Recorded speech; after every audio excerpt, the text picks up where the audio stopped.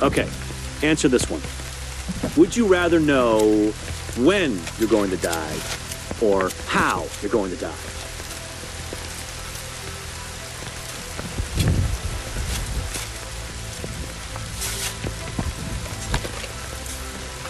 Come on, you have to choose one.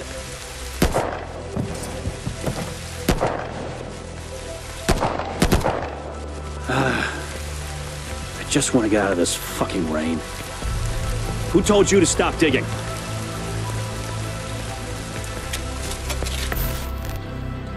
A fascist group of paramilitary warlords bent on using their combat expertise and overwhelming firepower to dominate their enemies and expand their territory. Smart and organized, the True Sons are led by a former Joint Task Force or JTF officer, Colonel Antwon Ridgeway, whose ruthlessness and combat prowess make him and his combatants a horrifying force. The dominating faction for a long time, the True Sons were responsible for the desertion of a large part of the JTF, the creation of the Outcasts, actively caused the forming of the Hyena Council, and wiped the castle settlement from existence. Let's take a look at how they managed this. Bar the gate, Sergeant. Looks like you got a riot brewing.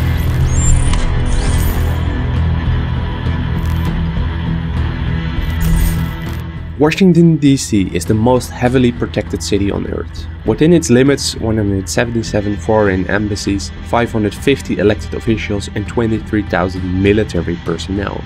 In the event of an attack, critical personnel are evacuated, underground shelters open, while complex defense systems patrol the sky. But they didn't expect the green poison. 27 days after patient zero showed its first symptoms, DC fell. Riots started happening. Troops retreated to bunkers and civilians were left in the street. The JTF, a group combined of first responders, National Guardsmen, and other military personnel, were stretched thin. Understaffed and overworked with meager resources, their ranks decimated under the constant stress of the virus, civilians in need of help, and hostile factions looking to take DC for their own. In an attempt to control the spreading of the virus, the JTF established a quarantine on Roosevelt Island. Colonel Antwon Ridgeway, colonel of the Maryland National Guard, was given the responsibility to administer the quarantine and ensure that everything ran smoothly. Colonel Ridgeway, r- refugees are swarming in from all over the city. We've got too many of them to handle. Look here. We're wasting resources on these people. What do you suggest, sir? Send them to Roosevelt. This is no longer about prevention. It's about damage control. But, sir, they won't listen. Tell them we've got food and medicine. They'll follow you like moths to a flame. If you get any resistance, go straight to Plan B. Plan B? You make them follow you. It's better that they're interned. At least they'll die in one place. However, Ridgeway quickly noticed the tragedy and despair and started to lose faith in the JTF's ability to save DC. There was no way they were all going to survive, so he decided to focus on damage control.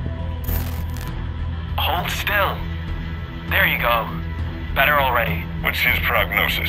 Uh, Colonel Ridgeway, um, not good, sir. He took a bullet. We've tried penicillin, but his wound has festered. I thought morphine might ease his pain. How's our supply cache? Truthfully, sir, we're running low. And not just in supplies, but manpower, too. We've got civilians piling up outside the doors. Under these conditions, it's difficult to separate the infected from the healthy. The doctor's expecting a new shipment this afternoon, but it almost certainly won't be enough for everybody. Pack all this up and move it out to the barracks. But, sir, we can't just. Are you questioning my orders, trooper? Well, No, sir, right away, sir. Uh, what about the patient? put him back where you found him. He's a dead man anyway. Safety off. Make sure the medical items gets into the clinic, and the food goes to the storage by the mess halls. Put those crates back on the truck. Wait, what? We're not wasting any more supplies on these people. Put them back, Private. Sir. What the hell are you doing, Colonel? They are already dead, Doctor. Are you insane? They need care. What about the staff? Collateral damage.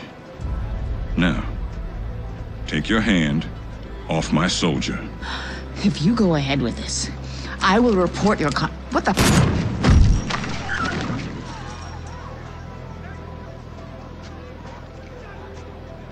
Bar the gate, Sergeant. Looks like you got a riot brewing. Lock and load! Put it down. As a strong believer in authority and discipline, Ridgeway decided to take matters into his own hands. In frustration and fear of the capital's future, he deployed guards around the quarantine with the order to not let anyone out. Following that, he started to redirect the resources coming into the quarantine, letting people starve to death and withholding medicine. In his eyes, the sick and weak were already dead, so his number one priority became to secure the future of his own men, whatever it took. Due to the chaotic state of the city, he was able to abuse this authority for a long time before the commander of the JTF found out. The JTF then imprisoned him and brought him to court. Down your weapons! You're under arrest, Colonel. That's bullshit! The Colonel's the only one keeping the city under control. You can't arrest him, he's a hero. Unarmed civilians were cut down on this man's orders. He's not a hero, he's a murderer. We can take them, sir. That's better. Antwon Ridgeway, you're under arrest on 55 counts of murder. A court martial will be held shortly to determine your guilt or innocence. History will show he was right. Those people were affected. They tried to break the quarantine. If they had, they would have caused a second outbreak. The Colonel saved thousands of lives. If that's gonna be your defense, Ridgeway, I'm sure it'll be a fast trial. You're not taking the Colonel. Fuck! Let's get him out of here before more of his followers show up. This court determines that you, Colonel Antwon Ridgeway, have been found guilty of violating the Uniform Code of Military Justice for the crimes of unlawful detention, failure to obey an order or regulation, and murder. You will therefore be stripped of all ranks and titles pertaining to your service in the armed forces and detained until further notice. Mr. Ridgeway, would you like to make a final statement? Very well. However, it did not take long until loyal members of his unit freed him. In his own eyes, Ridgeway did nothing wrong. The betrayal of his fellow officers filled him with rage and hate towards the JTF and federal government. As soon as he got out, he gathered men from his former unit and the stock where he was held prisoner. Together they captured the JTF officers that had imprisoned him and held a symbolic tribunal for them, only to execute them all moments later. And so, the True Sons were born. Give it to me straight, Manny. It's bad, Major. A new faction has formed around Colonel Ridgeway. Most of the guys that were under his command before he got arrested. They call themselves the True Sons. Great. What else? We're doing our best to protect the civilian settlements, but I can't see how we'll manage unless we're reinforced. I'm working on it, but everybody's been hit hard by disease and desertions, and we can't just ignore border security and vital installations. Understood, Major. It's a shit sandwich. It's worse than that. It's a whole buffet of shit, but the stakes are too high to get finicky. Ridgeway granted himself the rank of general and now had a paramilitary that showed fierce loyalty under his command. In his views, the True Sons were the only hope in restoring order in DC. Ridgeway was ambitious and had a strong desire to lead. He was a highly capable strategist and a charismatic leader. This, in part, he owed to his lucrative career as a salesman. He used his experience and his developed skills to enhance his leadership style. This shows in how he dominates the conversation and expresses his concerns if he disagrees. Where others might have difficulty deciding when times get hard, this is when Ridgeway is most decisive. After his career as a salesman, Ridgeway self-financed his way through the Reserves Officers Training Corps, or ROTC, which is how he eventually joined the Maryland National Guard and eventually achieved the rank of colonel. His decisiveness and ruthlessness showed when he prioritized the safety of his men over the infectant, as it did with insubordination or desertion. He would personally execute those who try. And loyalty. Not just empty words, but the virtues I expect you to live by every day. The foundation upon which the true sun stands. We are at war. Our enemies are the hordes of degenerates who would see this city burn, and the failed remnants of a corrupt government. The same impotent government which lost our fine country to sickness and ruin. We will destroy them all. But we can only win this war if we stay true to the cause and to each other. Loyalty is the glue that holds us together. Without it, our foundation will rot, crumble, and fall. So when I encounter disloyalty, where I find such rot, I must cut it out before it spreads. Please, don't do this! Now, these soldiers swore the same oath as you did. They swore to be loyal to the cause, to me, they proved to be neither. Instead, they abandoned their post and tried to sneak away in the night. They are oathbreakers. They are deserters. We are at war. And in war, the punishment for desertion is death. No, please, we were going to come back. We were going to. From their headquarters in the Capitol building, they controlled the southern part of the city. The field quarantine created the Outcasts, which were terrorizing the western part of the city from Roosevelt Island. Although the True Sons weren't actively at war with them, encounters were hostile and would often end with both sides suffering losses and one side coming out on top. We got it. We got eight casualties, sir. Three KIA, two expected. Now, now, now, tell me what happened, son. Fucking outcast came running in, screaming. We lit him up, but he was too close. He he just exploded. You did well. You did all you could. What, what the fuck is wrong with those people? Don't you worry. We'll make it right. We'll wipe them off the face of the earth. Toward the northern part of the city, the Hyenas, a loosely organized gang of opportunistic raiders, started to form a threat. True Sons and Hyenas were nemesis, actively waging war against each other, which led to the unification of the Hyena clans and the creation of the Council. This formed a major problem for the True Sons. Outcasts and Hyenas were even rumored to work together to defeat the True Sons.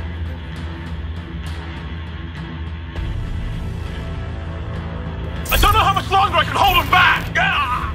We can't let them take control of the building. Multiple hostiles. I need reinforcements. We're taking fire. Hurry!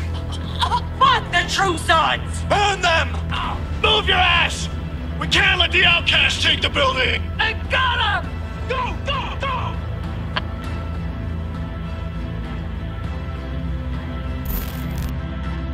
However, the opponent he feared most, although smallest in size, was the Division. As the True Sons increasingly became a threat, the Division started focusing their attention on them, which resulted in the loss of many of its men.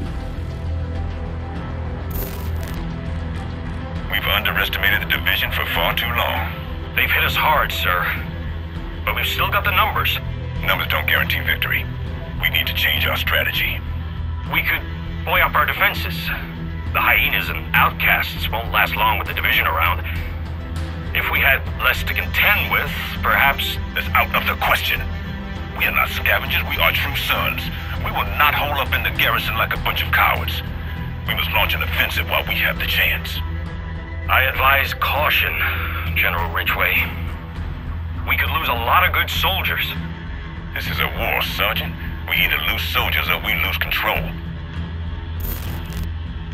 Ridgeway had other plans for the various civilian settlements across DC. He and his men believe it's mutually beneficial to demand tribute in exchange for protection.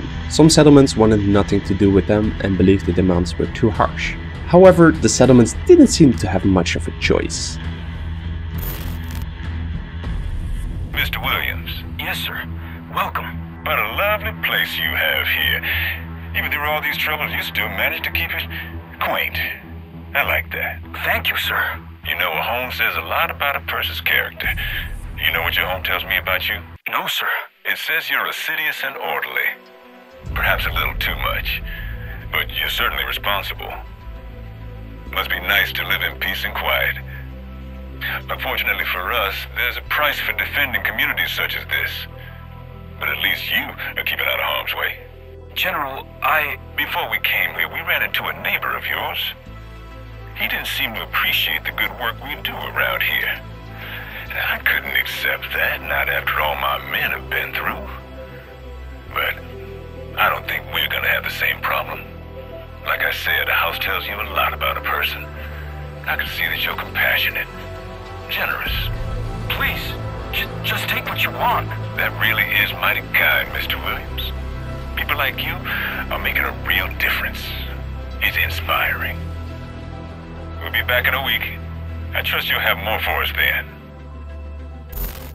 Consequently, the theater settlement was interested in negotiating with the True Sons. General, there's a woman here. Says she's a representative of the theater settlement. Wants to speak with you. What about? She wants to negotiate. Negotiate? Why would we want to negotiate with those people? Stand by, sir. I'll ask her. Uh, sir, she thinks a truce could be mutually beneficial. Shoot her, Lieutenant. Sir? Shoot her and dump her body where those cowards will find it.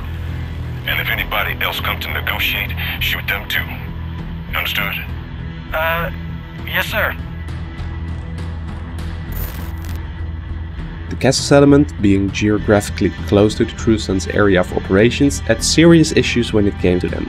They were offered a similar deal to the True Sons, but were hesitant. They decided they wanted nothing to do with them, but this didn't turn out well. General, do you know anything about these mortar rounds they're asking us to ship over to the plaza? I do. Make sure they get what they need. Can I ask what they're planning to do with them? Why? Is something troubling you? I just don't understand what we're doing there. Doesn't seem like there's anything of importance in the area. Well, we have problems to solve.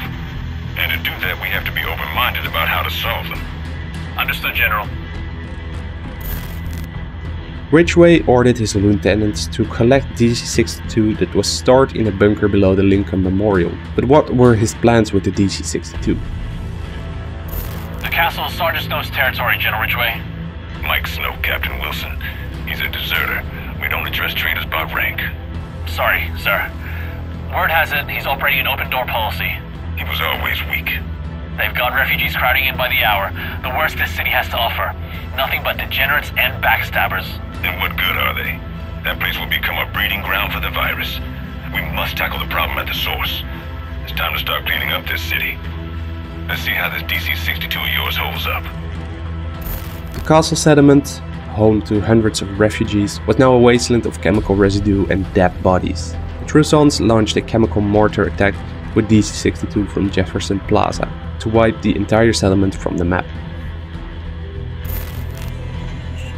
Mortar attack. Chemical. Seven survivors.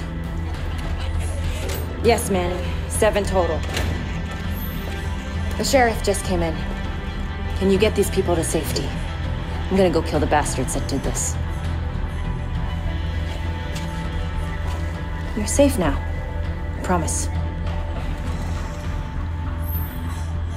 The attack came from Jefferson Plaza.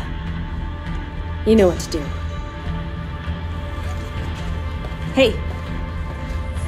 Kill them all.